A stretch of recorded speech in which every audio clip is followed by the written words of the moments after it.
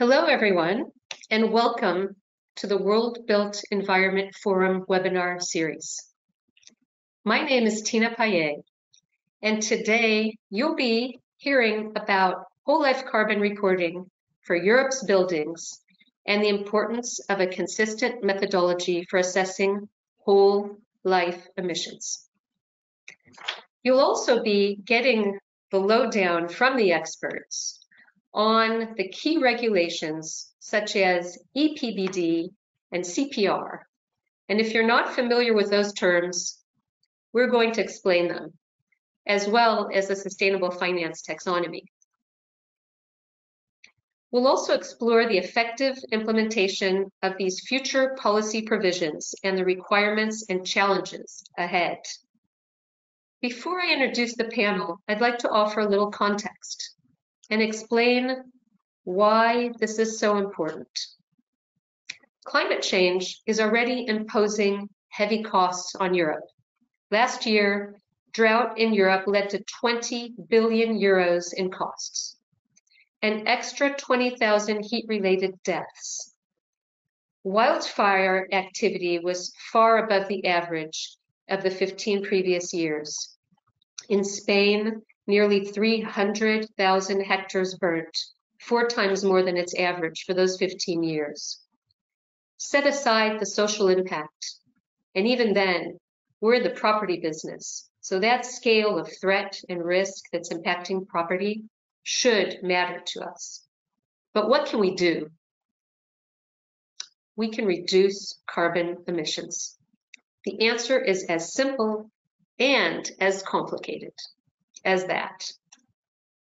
According to the EU, buildings are responsible for around 40% of energy consumption and 36% of its greenhouse gas emissions. Nearly three quarters of EU building stock doesn't meet energy efficiency standards. Yet, over 85% of those properties will still be operating in 2050. The EU has had an energy performance of buildings directive since 2010 with various revisions. This states that as of 2028, all new buildings must be zero emissions. For new public infrastructure, that date is 2026, only a few years away. It also mandates minimum energy performance for existing buildings. For residential, this is Class E by 2030 and Class D by 2033. For non-residential and public buildings, it's 2027 and 2030. Those deadlines are all within 10 years. Most are by the end of this decade. So that's urgent because key decision points are happening now. There's much more to this challenge especially when we get into the practicalities, which I'm sure our panel will explain. I'd like now to introduce our stellar panel, Julie Emmrich, Sustainable Finance Lead at World Green Building Council. Julie, can you tell us a few words about yourself? Hello, everyone, and thank you, Tina. Uh, so uh, I'm Julie Emmrich. I'm indeed the Sustainable Finance Lead at the World Green Building Council. Uh, the World Green Building Council is a network of 77 green uh, national green building councils, and we represent 46,000 members uh, at the global scale. Um, and I'm personally in charge of looking over all our activities related to sustainable finance. And one of the activities we have at uh, the World GBC is uh, specifically looking at the EU taxonomy, but we also uh, aim to find alignment uh, in what we call the ESG ecosystem in the real estate sector. I'm happy to talk more about that later on. So thanks for having me today. Thank you for being here, Julie. Really looking forward to hearing more about that. Our next panelist is Luca De Giovanetti. And Luca is currently Senior Manager Built Environment at the World Business Council for Sustainable Development. Luca, could you introduce yourself? Thank you, Tina. Hi, everyone. Uh, happy to be here. So yeah, my name is Luca De Giovanetti. I at WBCSD, which we are a global membership organization with well over 200 of the global companies. We really work on driving sustainability in the built in the private sector and driving sustainability at climate, nature, and inequalities are the key priority. But yeah, for the work on the built environment that I'm leading on decarbonization and circularity, definitely uh, the climate is the main aspect, but yeah, important to consider all the rest. And for us, it's really how we create a systemic approach to decarbonize the built environment, achieving the global target to halve emission 2030 net zero 2050 by bringing the entire system together. So happy to be here. Great, great to have you, Luca. And I can't wait to hear more about your ideas around market transformation. Our next speaker is Amit Patel. Amit is head of professional practice for construction at RICS. Amit, welcome and can you introduce yourself? Thank you, Tina. Uh, I would like to say good morning, good afternoon, and good evening to everyone who's who's kind of logged in today. Uh, my name's, uh, like I said, Tina uh, mentioned, my name's Amit Patel. I'm the head of professional practice at the RICS. We manage the the professional standards of how what we should do as as, as a membership organization as uh, as professionals. Um, and our aim is to making sure that from from an environmental perspective that we use the standards that we use the mechanisms that we have to capture the data to ensure that we're having the best chance of making sure we're reaching our goals uh, especially into the environment going forward. Great, thanks, thanks for that, Amit, and we'll be hearing more about that standard very soon from you. Um, last but definitely not least, Zsolt Toth, team leader at Buildings Performance Institute Europe. Zolt, could you introduce yourself and welcome? Sure, many thanks, Tina. It's um, great to talk to you. So my name is Zsolt Toth. I'm based in Brussels. Um, I'm team leader at um, the Building Performance Institute Europe, which is a independent policy think tank. Over the past 10, 12 years, um, we have defined this building performance almost exclusively in terms of operational emissions and operational energy performance, um, but very much in line with the discussion of the webinar today, um, we have uh, also sort of brought in the um, impacts of embodied emissions that are related to, to, to, to, building materials.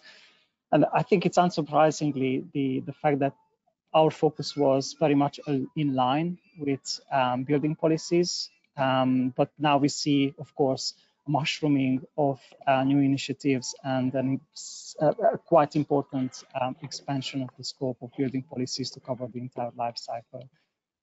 So we'll talk about this in a second. Oh, back to you, Tina. Great, thanks, Zsolt. Uh, and I now am going to introduce a few uh, general questions. So for the panel, just uh, raise your raise your finger and let me know if you want to respond to this one. Because to begin, I just alluded to the scale of the challenge. It's not a small one. And my question is, is the sector on track to decarbonize or are we falling behind? What is working and what isn't? Maybe we'll start with Julie. Yes, happy to come in. Uh, yeah, interesting question. I think we repeatedly discussed this one at different conferences, and it's it's an important one to have. I hope one day the uh, answer will change, but I think for now, uh, the the what we're seeing in the market, and of course at the World Green Building Council, we have uh, some insights from over 46,000 members worldwide, but um, we're we're nowhere basically the the uh, kind of scale and uh, um, sorry, speed of change that we need to achieve uh, to keep the global European climate goals and, and sustainable development goals. Um, so we're seeing progress, of course, uh, but usually it's in a few percent of the market. So there is a massive need to upscale all the efforts that we're uh, talking about, uh, including those that we will be discussing here today. And maybe one thing I'd like to raise that on, on what is going well, I think we are seeing that the market is grasping better the concept of what a green building or decarbonized transition path looks like.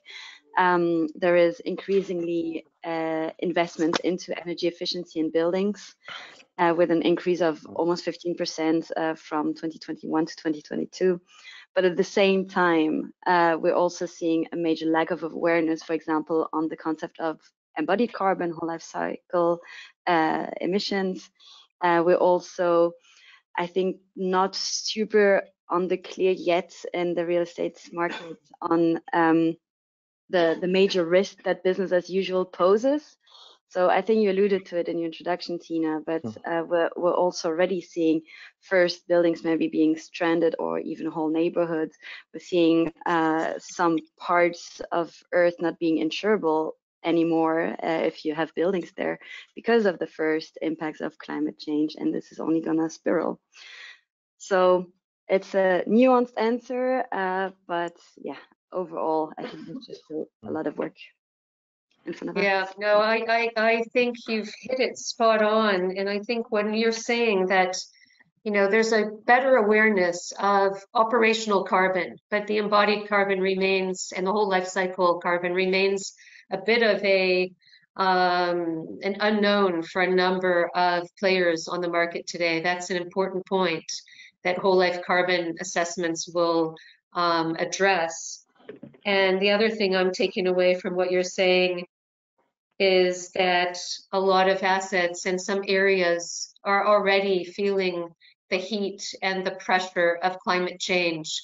And that will bring awareness, but perhaps in a very, very painful manner uh, to some uh, populations and to some of those uh, real estate investors that are invested in those areas.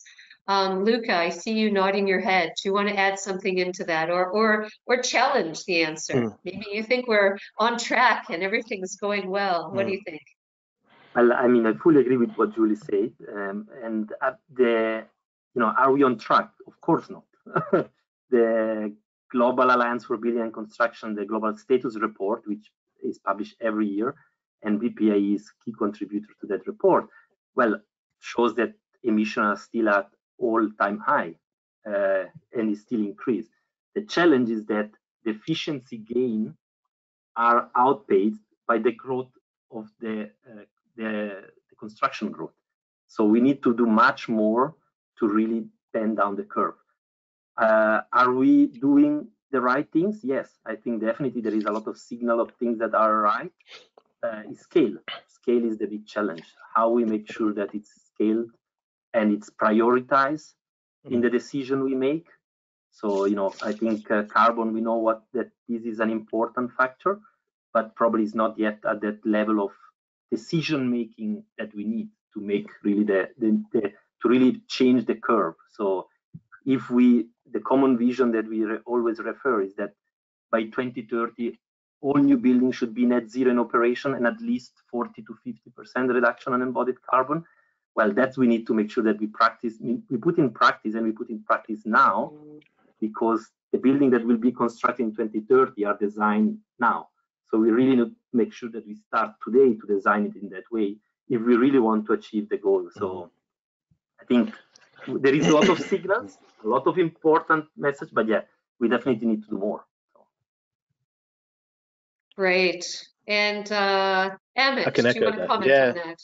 Yeah, I mean, I can echo what, what Lucas said. We we are so far off the mark at the moment. I think we you know, we we need there needs to be a total step change about how we do things, and you know whether or not it's is, is it going to be us as an organisation that's going to push this forward, or is it going to be uh, are we looking for political statements? Are we looking for you know legislation to get behind this to get to get this moving? Because we can all see the effects of climate change now. You know, this is visible. This is actual tangible things we're seeing. Um, we have to reconsider that. You know, it, do, do we make this mark now? Um, it's, it's, as Lucas said, the buildings that we're building now, uh, you know, we could, you know, we start reducing. We could start reducing what we look at at that 40%. Um, but it, it, as, as you said, Tina, we look at the existing stock, the existing buildings that are still going to be here, that are still going to be heavily drain in, in, terms of carbon usage, in terms of heating, ventilation, operating those buildings. You know, what, what are we doing around those? What, are, what you know, what what are the solutions around those? What are we doing about um, how we manage those buildings? You know, those assets, those assets that are that are managed as well, those assets that are owned. Um, so there's a whole kind of, you know, yes, we can do the right thing. There's a whole kind of financial system behind it as well that's propping up those mm. buildings. So we need to kind of consider are we are we doing the right thing now? Probably not. We can do more. Well, you know, we can look at going and kind of stem it up where we're looking at feasibilities, outline planning, master planning, and thinking mm-hmm. actually, are we making the best choices now for for the future generations? Um, and the question was, you know, what can we do going forward? Uh, we could we could do a lot more. We can look at sustainable sources of materials, energy consumption, where you know where the power of the grid comes from, sharing of technology. We can look at sharing data, for for example. You know, that's a that's a major impact of what we what we're doing at the moment. Um, we need to understand how much it is that we're you know each building is is currently emitting, which is what kind of the roadmap we're we're looking at the moment. But we we need to, to understand how comparable is that you know what are the what are the limits? You know are we really you know when we sort talk about net zero at you know 2050 how how realistic is that? If, we, we, we've got we've got to undo what we've done in the last 100 200 years in the next 30 years? Absolutely. So hold that thought because we're going to be mm -hmm. answering some of those questions hopefully mm -hmm. a little bit later in the session. Um, Zsolt, what are your thoughts? Are we on track? What are we doing right? What are we doing wrong? Well, I wish. Or what I, are we not doing? no, certainly I, I, would wish to to contradict the the other panelists, but I just simply I can't. So I, I will just nod to to everything which has been said before. But maybe I will I will just contradict you, Tina, because in your opening when you stated the um, the size uh, and the urgency um, that we have that we currently face. Um, and you quoted the 36% of greenhouse gas emissions coming from, from buildings in Europe. Um, that figure is likely to be even a low estimate. It is possible that if we have a life cycle approach, so if, if, if we are really good and, and much more granular in accounting all the responsible emissions, um, will probably we will end up in, in, in the region of 41%. So that is just to emphasize even more um, the baseline from where we are going to make all these changes. Now, um, I think maybe it would be good to, at this point, to, to shed some insights on, um, on a report that we have been, on technical study that we have been preparing for the uh, European policymakers um, to, to basically assess the baseline and then from there draw a decarbonization pathway and to explain what does it mean actually in concrete terms in, in terms of policy but also for the for, for the industry. And um, so starting from this baseline having in mind the the, the current um, available policies and, and, and policy landscape driving decarbonization we accounted for, we modeled for something like 32% uh, emission reductions, which is like, is, is, is, is still very, very far away from what carbon neutrality or net zero carbon requires us. And interestingly, a lot of these um, carbon reductions are driven by emission reductions in the use phase. And as Julie was saying that there is quite a lot of awareness in terms of energy efficiency, energy performance metrics, and, and, and even investment into this field. Um, but a lot of these savings are actually offset by this this growth of um, the of, of floor area in the building stock. That are, the fact that our buildings and and and the space per capita is is increasing, and maybe it's increasing unsustainably. And, and this is what probably Amit was um, alluding to: the fact that we have to undo a lot of what we have done over the last 100 years. And yes, a lot of low carbon measures and, and strategies are available, but even with that, we have modeled um, a reduction potential of something like 68% with these life, lifestyle stain, which means that yes, these are available, but we need to do more.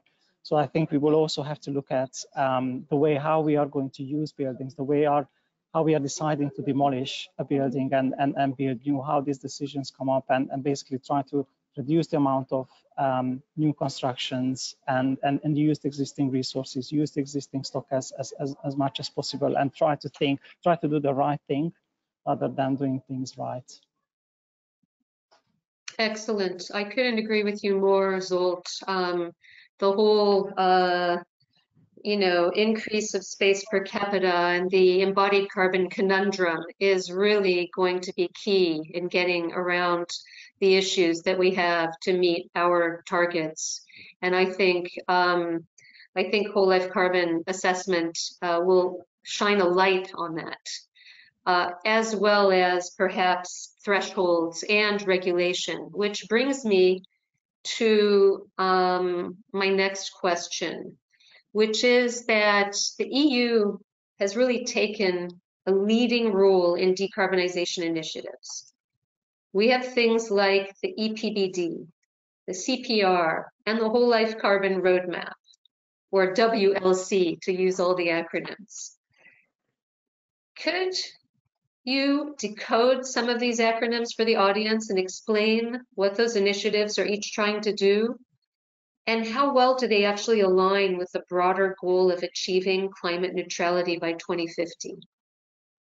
I think we're going to go in reverse order. I'm going to let Zsolt go first on this one because I know you're you're very very much up to speed on some of these uh, decarbonization initiatives and, and policies. Over to it's, you. It's true. Thank you, Tina. We, we are following um, policy developments very closely because, um, as, as, as, you mentioned, a number of key pieces of legislations are, are, are being reviewed as we speak and are being subjected to, to policy negotiations. Um, I think one of the key issue that you mentioned was that the lack of alignment between policy ambition um, and, and basically climate neutrality goals. Um, and I take this maybe even a step further. Um, the, the current metrics that we have and, and, and European building policy, policies have been based on, and these were mostly energy efficiency. And, and therefore, building requirements in terms of nearly zero energy buildings or zero emission buildings even, they are not really aligned with what climate neutrality would require. And I, that I see that is, is, is, is really difficult um, also for, for, for the wider real estate and construction sector to comprehend as well, because simply for an investor or for a developer, a net zero emission, a net zero energy building or a zero emission building, it doesn't say if it's aligned with the decarbonization pathway in terms of um, carbon emissions or it's not. So there is this gradual change and, and recognition um, of the need of, of moving away from energy and energy efficiency metrics towards um, towards carbon emissions and, and preferably life cycle emissions.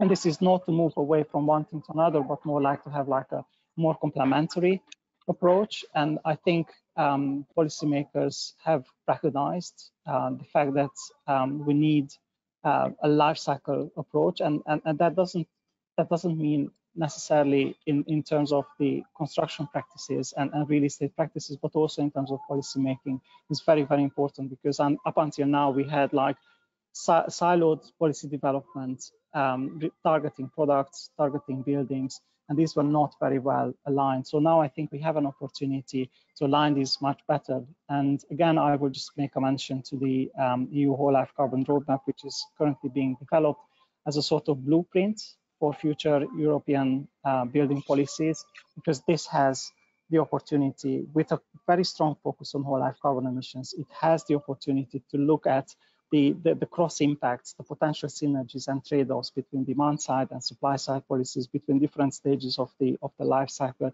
but also between product building level policies, but also the wider building stock, because that's ultimately that is very important from a climate change point of view and, and, and, and the global carbon budgets.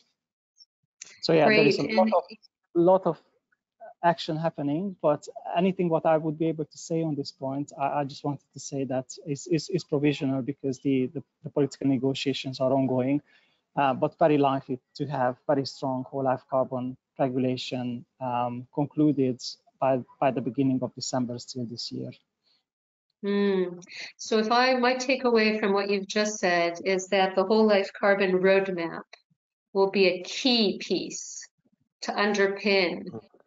Uh, it means not only does the EPBD and the CPR and other regulations need to include whole life carbon measurement, but that the whole life carbon roadmap um, could be a key piece to bring in uh, even other legislation, including things like uh, waste management, circularity, um, and other items that feed into the whole life carbon?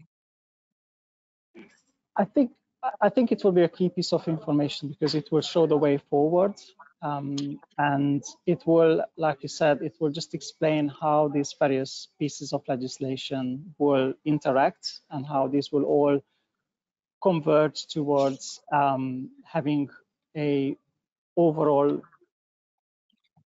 carbon budget for a building or for the building stock, for national building stock. That will be very important because based on that, policymakers will also be able to set these limit values towards um, which basically building regulations will have to be um, aligned with. I think it's important because it will provide this sort of long-term outlook because it's, it's, it's not enough to talk about 2050 as the end goal for um, a climate neutrality um, uh, building stock. It's, I think, also very important how we get there because as we know, the carbon has a time value and basically, we longer delay this process, we need more assertive policies because it's more difficult it will get to stay within the uh, the, the, the remaining carbon budget. Mm, absolutely. I think I'm going to skip over to Julie because I want to ask Julie uh, something a little related to the question I've just asked, which is about the sustainable finance taxonomy. This is a really critical aspect of driving sustainability in the built environment as well. How is whole life carbon addressed within the taxonomy, um, otherwise known as the EU taxonomy for a lot of people? And what sort of discussions are taking place regarding the inclusion of whole life carbon thresholds within the EU taxonomy? Julie? We all are, we're all ears. We're all ears. This and this is insider, just for the audience. This is insider information. No one knows what's going on in the sustainable finance um, inner circles, and Julie does. So this is going to be really interesting. Over to you. I think you're over promising, but uh, yeah, I'm happy to take the question nevertheless. um, so maybe just a, a, quick 10 second drawback on, you know, the EU taxonomy isn't there alone. It's part of a sustainable finance policy package, uh, along with, uh, so to add a few acronyms to, to the list you mentioned, there is the uh, SFDR, so the Sustainable Finance Disclosure Regulation, mandating financial institution uh, and their funds to, to kind of be more transparent in what they're investing in. Uh, there is also the Corporate Sustainability Reporting Directive, so uh, CSRD, mandating companies in the market to uh, be more transparent about the economic activities they have, um, and and reporting along a whole, I think it's 100 plus indicators on on ESG. So there is this whole disclosure part uh, going on in the EU that I think you know that that's a big game changer. And then there's the taxonomy, which kind of the way I see it sits in the middle of both because it's a, kind of a tool to describe what is a green investment, what is a green uh, economic activity. So how do you, how do you do the reporting from a company to the you know to the finance sector, and how to ensure that talk the same uh, language? So that's the quick background I wanted to bring in, and then to address your uh, question, it's it's a um, maybe disappointing answer to the audience, but the EU taxonomy actually currently doesn't really include any criteria on whole life carbon. Um, you know, and the EU taxonomy is meant to redirect finance flows in the European market to put at, uh, uh, to put us collectively as a European uh, market and society on the path to a decarbonized and sustainable, um, um well, yeah, economy and society, and spe uh, specifically also a decarbonized built environment.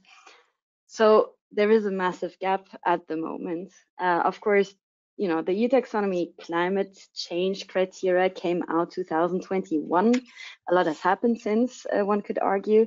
And as Zsolt was uh, explaining, uh, well, you know, there is a whole um, negotiations around the key European energy law, the EPBD, which will address all buildings, right? It, it's a it's a minimum performance law. So the EU taxonomy being more targeting the front runners in the market, obviously will need updating. Um, and I think also to be very clear, the EU taxonomy does refer to whole life carbon and specifically life cycle global warming potential, but it only addresses uh, buildings that are over 5,000 square meters big and also doesn't have any criteria really, just mandates the disclosure of the data.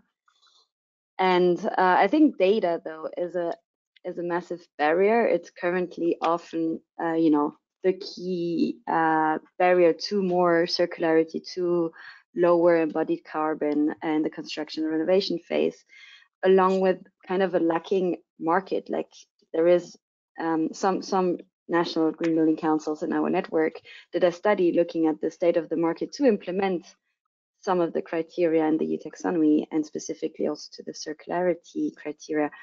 It's very difficult to comply with them because the market isn't in place yet. So this means coming back to you know alignment of regulation. You also then need regulation towards the suppliers to create an ecosystem, uh, like uh, to create the market that is necessary to then be able to uh, go towards uh, kind of lower embodied carbon in the construction phase or in the renovation phase or in the procuring of materials. So yeah, I hope next year uh, there will be an update on the EU taxonomy to include whole life carbon, and I think this will be very dependent on the EPBD outcome by the end of the year. Zsolt was uh, uh, referring to. Yeah, really, really insightful. And I think maybe I'm wrong, but my main takeaway from that is that the EU taxonomy needs to have more teeth, and that maybe those teeth will come uh, on the back of any PBD regulation on whole life carbon thresholds. But today, it, it's, as you're saying, it only mandates the data reporting. It doesn't, it's there to channel financial investment towards green investment. It's there to avoid greenwashing, but it's not necessarily having any teeth when it comes to things like carbon reduction uh, and thresholds and measurement through whole life carbon. So um, a useful piece uh, to put things together, but it, it, probably needs to be beefed up if we want it to really help us get where we need to get. And I think this um, brings me to a question for Luca, which is why is it important to have better alignment in whole life carbon measurement and reporting at the EU, but also at global level? And what could be done next to achieve that? Do you agree that it means we have to put more teeth into some of our legislation? What what what are what are your views? And and also, um, if you could touch on the whole issue of market transformation, which I know is is key to this. Over to you, Luca. Yeah, thanks.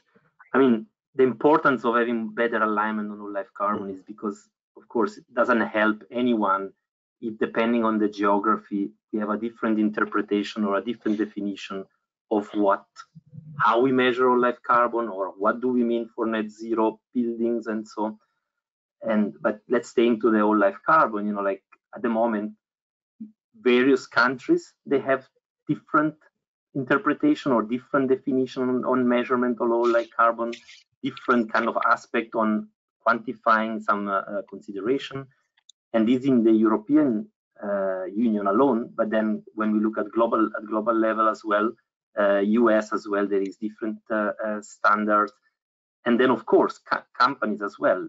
all company, or not all, many company are conducting whole life carbon calculation of the buildings, but there is no kind of uh, uh, un unified standard and that's bring the challenge that hmm. having to adapt their whole life carbon calculation based on the country if there is some requirement so that might be that a company that operates in 10 20 50 countries they might have different interpretation on how to calculate if they need to report to some specific country regulation so that's a waste of resource but also then a lack of comparability because a number from one country versus the other might not be the same. So this is why it's so important that we create an alignment on the way we report all that carbon, having key considerations and kind of better working on some key principle that would enable maybe not necessary to harmonize everything, that will be obviously a long shot,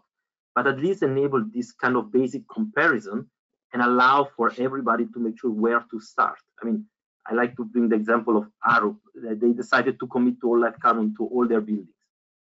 They had to develop an internal methodology to calculate that throughout all the countries that operate in all the um, all the different geography. So because then you know you need to make sure that you have the right data for each country. Europe might be easier to get some data compared to maybe other uh, regions, so where data are more lacking. So and to create this better way that eventually provides something that internally company can use.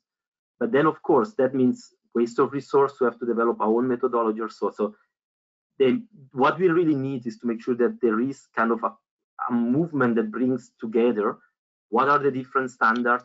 RICS they published the professionals, the state, the standard, uh, the new standard on life carbon. That's a good way, a good step into that kind of creating something that is of broader recognition and making sure that everybody is uh, kind of aligned. Because then, of course, once we have a common way to measure, then there is many different things that can be done. So that's definitely why the importance of whole life carbon.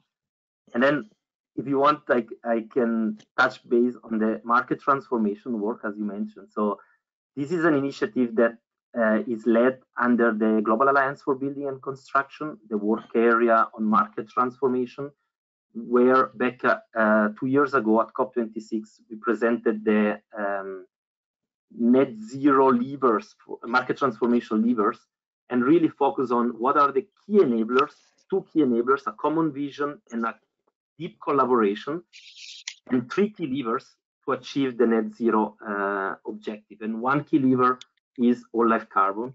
The other one is making sure we look at carbon the same way we look at cost when we do the, the constructions and the and decisions, and then really driving this supply and demand dynamics. So an whole life carbon is really a key enabler because it really enables various steps. And when we in the market transformation, the discussion was not what do I need from the order, but rather what I can bring to the system transformation as a stakeholder from the system, being a business company. And that's again, depending on where on the value chain the company is, they can bring different uh, aspect, data, requests for whole life carbon information, uh, providing uh, demand for that, but then also governments, uh, uh, public procurement or uh, enforcement or kind of putting a regulation that demands some specific aspect, financial sector as a key enabler for the transformation, and the broader, let's say, civil society, all organization as well on creating these alignments. So now the work, the market transformation, we're working now towards working on specific actions, like based on these enablers, what are the barriers and actions that enable that need to be implemented within this framework to drive this intervention that would accelerate the transformation? What are really stopping us to get eventually to the question you asked before? Are we going to get there? What can we do? So really, how what can we do to accelerate the transformation? Because we know what we need to do, but why are we not still getting the right process? and progress. So what can be done in the system to really drive this? And in there, again, Mark, uh, whole life carbon is a key driver, and this alignment is really one of the key aspects that will enable to accelerate uh, the. So now we we're planning to launch the to finalize this work. Uh, so we're gonna have another uh, workshop uh, at COP this year, but then we want to pre present it in line uh, and showing what is the known government actions can be done in collaboration with the Building Breakthrough. That is an initiative done by France and Morocco, which is going to be uh, announced at COP, but then presented at next year, March uh, 24 in Paris, which may be an important date for everybody. Uh, is the first ministerial event will take place in Paris next year. Uh, and is really bringing together all ministers globally and bringing so really discussing about climate and building. So it's the global uh, building and climate forum for the 7th and 8th of March next year. So big day to mark because it's really where I would say the broader built environment community can get together and emphasize what we do all here uh, as organization, as companies, and so, and bringing together with the government initiatives at global level. So that's great. Bit great. answer, but yeah, there was a few. Everyone, mark your mark your calendars. Seventh and eighth of March. Uh, building breakthrough in for France and Morocco, but taking place in Paris. Excellent. Um, I think we're starting to field a few questions uh, from the audience, and please feel free to put them in. Um, Julie has responded in part to to a first question, but we'll, we will I will get to the questions in just a few minutes. I'd like to ask um, one more question, and then we'll open up to the audience questions. And the last question is for Amit. Um, and and I know uh, Luca had been leading on to this, but I, I, think the question for you, which would could be really interesting to hear about, is what is the impact of RICS carbon assessment standard in meeting the 2050 goals? Luca gave us the highlight saying we need global standards. We yeah. need to measure to improve. We need these standards to be comparable from one country to the other. How do you see the RICS carbon assessment standard, whole life carbon assessment standard, helping to meet our 2050 decarbonization goals? Yeah, so just going back on what Luke was saying, we need standardization, we need data sets, and we need transparency uh, within the market as well. So we need to understand, you know, once this once the exercise has been carried out at certain points, we need to understand what the rigor is behind it, what the transparency around the data disclosure, where does that go to, where does it, where is it held, and we need to look at ourselves and say, actually, how do we compare against um, city to city, country to country, asset to asset, and looking at those, and and also exploring the nature of how we got there. So you know, we're still in the infancy. So what we need to understand is that you know we I think we uh, look just kind of spitting at some facts at the moment. So 70% of our members had never carried out a whole life carbon assessment. So it just goes to show that we're still in the infancy of doing so. Um, but once you know this is a mandatory uh, competency, so once we get to a stage where each building and each asset has been recorded in that same effective method, and it's standardized, and we're recording data, and then we're recording it in operation, so we've got actual data to compare against. Once we get that to get to that stage, we get legislation to say actually what are the targets, what is the minimum requirement that we need to be to get to net zero, um, and then we can bridge the gap to understand actually what what you know what are the impacts that we need to do, how far up the I say uh, uh, that, that kind of design process do we need to work to make sure that we're eliminating that that kind of optioneering phase to making sure we're making sure that the building is efficient as possible? So then you know it's got the longevity it's reduced its carbon overall and it's in operation as well. So i think we yes correct we you know we are way far off the mark but we are still in the infancy in terms of capture that, data. We need the transparency and we need to uh, we need systems and policies behind it as well to give it that rigor in terms of sharing that data with everyone to understand actually this is what we're doing in this particular region and this is what this asset is classed. Um, and then going to the second part of your question about, maybe before you go on to the second point i'd like to challenge you on that because of course in an ideal world we have the data and then we can set the policy according to the data mm. but i don't know if we have time for that no we don't no. is there some, not some way that we can piggyback on a certain amount of studies and works and hmm. um, mm.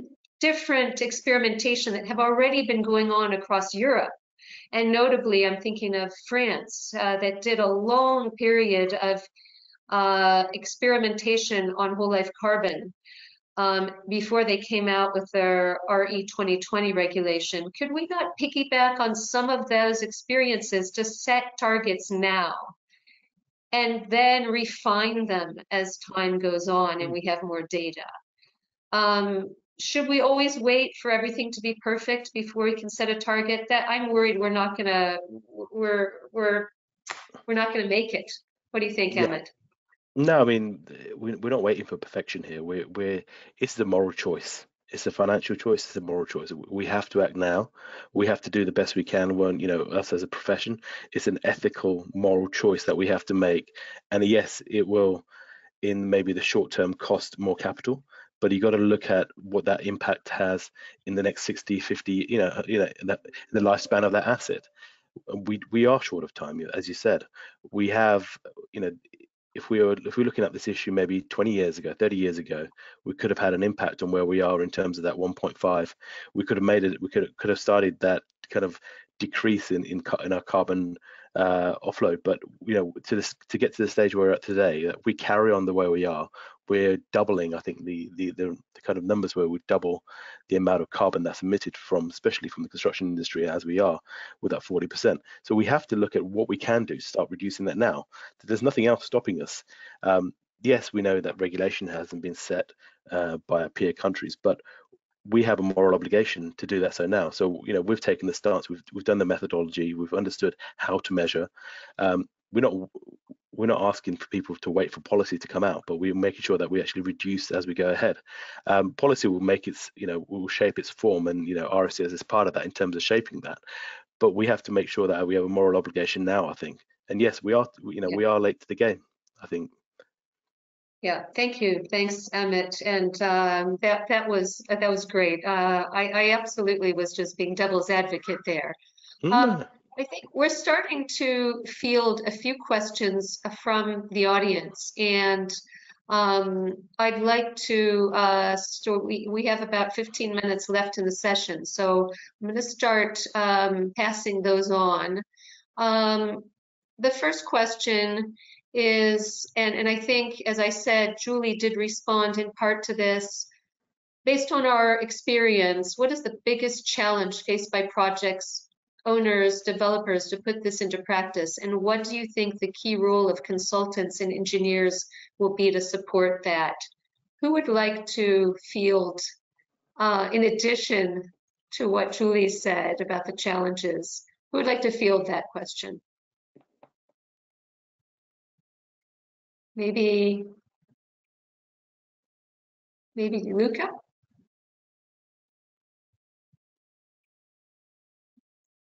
Consultants and engineers, how can they support putting into practice whole life carbon? Yes, I mean, they would say, you know, that the fact that they can advise, you know, uh, when property developer or investor comes to them, you know, to inform what is actually the best in practice that can be done. You know, like uh, not necessarily that all developer would know what could be done, and how it can be done. So, you know, like I think demonstrating that more, you know, like of course, consultant and engineer and, and the broader architect uh, sector, they need to know what can be done, but they would be probably ideally the best place to know that it can be done, how technically can be done, and what is actually required. So if a design doesn't meet the requirement for net zero, I would suggest I would say that you know they would be the best one to advise that actually that can more can be done. So they would have the, the role and responsibility to do that. uh, so and many of these are actually signing up to commitments to meet that. Uh, uh, some of them are like architect declare, engineering declare commitments. Some of them are more uh, formal, like science-based target, which by the way is going to launch their buildings guide on the 21st of November. So in a couple of weeks, they will launch the new guide for science-based target for the for buildings. So that's definitely an important milestone for company to link up and looking what does it mean setting a science-based target uh, based on building. So yeah, it's really kind of making sure that they are, they are yes, advised. Mm.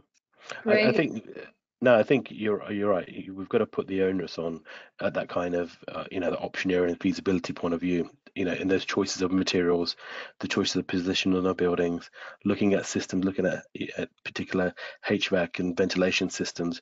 We need to look way up, you know, further up that design change where we can make the most amount of impact, because that's where we've think we've seen the, the biggest impact at that kind of uh, optioneering phase of, of, choices of materials, choices of location, choices of certain criterias. Um, and then that will hopefully start indicating that we can use different types and availability of materials, then decreasing the load of carbon uh, further down the in terms of the construction line. So consultants do play a pivotal part in that. Excellent. And I think that actually leads on to a question from Frank, who asks, are calculations being made on available raw material resources required for continent-wide transformations via new technologies? If I understand correctly, Frank, that question is about are we calculating and optioneering the value, the carbon value of new and raw materials? Oh, sorry about that. Um, yeah. So, so who wants to to answer that question about is there are there calculations being made on on raw material resources and are new technologies helpful? Julie, you want to field that one?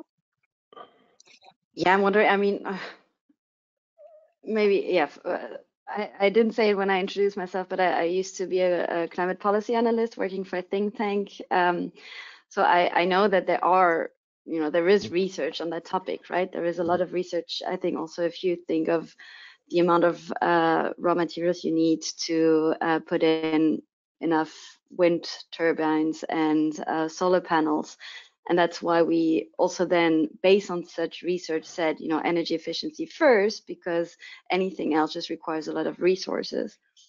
I'm also trying to understand the question. Um, I, I, I, would think when Frank asked the questions, it's about are the calculations made at the building level, which then I'm, I mean, yes, to some extent, there is the um, so I'm no engineer, but um, you know the the quantity of the, the bill of quantity or quantity of bills. Not mm-hmm. sure. Um, so yeah, Luca, please come in. So at the building I, level, mean, kind of, I mean, also like looking at the question from Stalin, uh, I just see that you know like uh, there is uh, generally you know like uh, when you do calculation, the best would be to do it with primer primer uh, primer data, primary data, you know, based on the information that you have that obviously is not always the case. So ideally, you know, like if you have EPDs, environment product declaration, that enables to kind of make the calculation with some consistency based on, you know, like uh, available information. But yeah, the big challenge, and Amit was Amit was saying that before, you know, like uh, transparency and consistency of data is definitely a big challenge. So, but that doesn't have to stop us from doing the calculation because, you know, like uh, being 70, 80% right is better than 0% at the moment. So, you know, like starting to get the numbers in, starting to get information, getting closer. So by having a common framework to measure and calculate, we enable to understand, being transparent in that allows to understand to find to understand where are we, how far, what what, the, what is in and what is out, and then enables to do different things. So then as well, one thing that is important is that we should not look at only the materials that we put in. You know, I I personally think there is no such thing as a low carbon material because it all depends on how it's used. You know, we, there is such more potential to make use of materials in much more efficient way. Also, like high carbon intense material, if they're used much efficient, much more efficiently, they can lead to better performance. So that's why they all like carbon calculation is important because we should not look at what we put in, but what is the final output of the product. You know, when we look at the entire building being constructed and finalized, what is the final embodied carbon? What is the final operational emissions of the building? What is the final whole life carbon? So when we look at the performance, that's what matters because then we know we made use of the best material in the best way. And then of course, making use of the low uh, embodied carbon materials made, uh, you know, there is various ways that can be measured, the reduce, but important is to look at the performance. What is the final output of carbon emissions when we look at the thing? And oh, all yeah. materials, all technology are part of the solution. That I think is very important that, especially in the built environment, which is such a long value chain, there is so many different things that gets together. So there is no one silver bullet, but by making sure we use all different solutions, we can definitely get there, but we need to look at the final performance more than just kind of uh, picking one or two solutions that bring us there. I think let's go Thanks. back to the Sorry, Tina, I just want to say, you know, when we talk about materials, we look at the high carbon intensity materials, so, such as steel and concrete. You know, probably 99% of, you know, all structures that have contained those two elements of, of putting up buildings. So we either need to invest in, in technology to produce new materials that are carbon negative or, you know, carbon uh, neutrality, or, you know, just having a different method of construction. So it is, it is a real reshape, a rethink if we're really planning to get down to, you know, to 2050 goals. Um, you know, Mm. you- you're not trying to eliminate those two kind of building materials, but they are the essence of building. Yeah, no, I, I, I think you're absolutely right there, Amit. And I think there's a lot to be said about um, the waste hierarchy, which is uh, re, remain, retain, sorry, retain, reuse, uh, recycle. Um, some of the answers uh, to the carbon and steel issues may be that we have more retrofitting. Um, and that uh, we do have a question on, and I'm sorry, we are running out of time. So we, uh, I think we'll be able to get back to these questions offline in a uh, report that we're going to be publishing after this call. So um, please don't feel frustrated. We will get to your questions, but just not on this particular recording.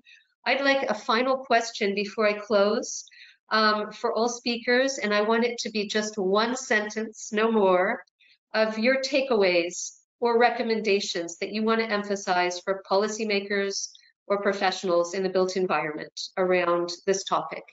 One sentence, please. Um, Amit. I think the biggest one for me is we, we've got the next 30 years to undo the last 200. Um, and if that doesn't make an impact on, you know, where we are, then I, I don't know what will. Great. Julie.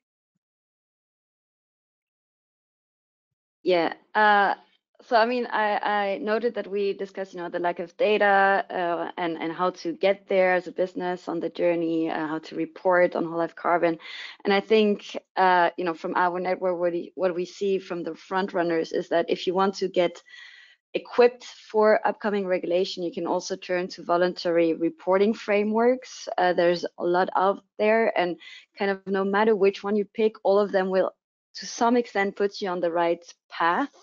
And once you are compliant with one, it's going to be much easier to be compliant with others and also regulation in the future. So, you know, you can just pick and choose from the market and, and start your own. Okay. Thank you. Thank you, Julie. Luca, one sentence. 2030 is now.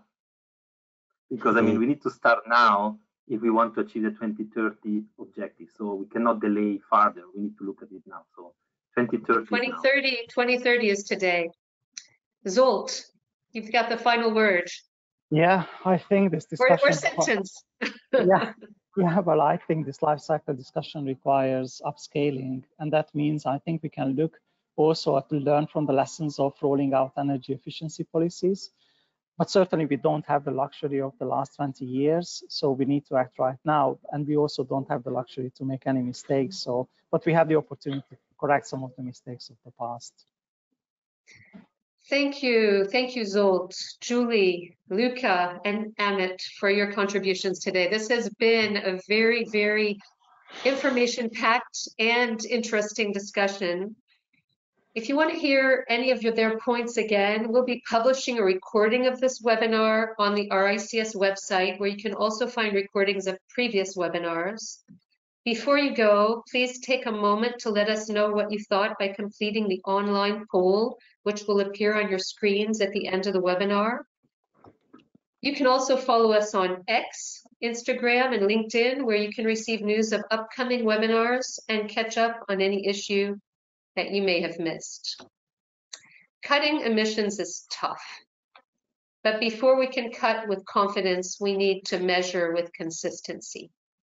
A clear methodology that can inform surveys, project plans, investments, and operations will be a vital step in understanding, reducing, and mitigating our climate impacts. Thank you all for joining us. Thank you to the stellar panel, Julie, Luca, Amit, Zsolt. And until next time, goodbye. Goodbye. Thank you. Bye bye. I